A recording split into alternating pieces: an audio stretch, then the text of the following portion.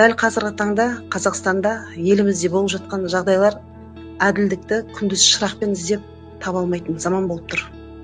Сондықтан әділдік іздеген азаматтардың қатары көбею керек. Көптеген азаматтар саяси сауаттылығын арттыру керек таразылай білу керек әрбір істі. Көрінгеннің айтқанына жүгініп соған айтағына еріп кетпей әрбір істі өзі таразылап талдап талдаулар жасау керек. Біздің ең басты құндылығымыз да осы. Біздің басты мақсатымыз әрбір мына өзгеріске талпынған азаматтардың белсенділердің арманымыз іргетасы мықты шекарасы берік халқы тату адам құны мен құқығы маңызды фактор болатын.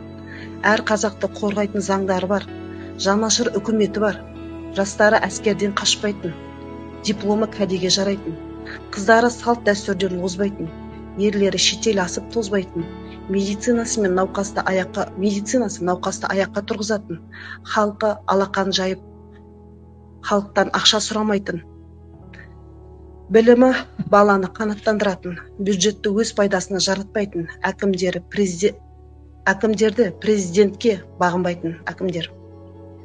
Сіз бен біз болып сайлауға жүрекке жақын сенімді деген кандидатқа дауыс беріп дауысымыз ұрланбайтын. Мұғалімдері жалтақ емес.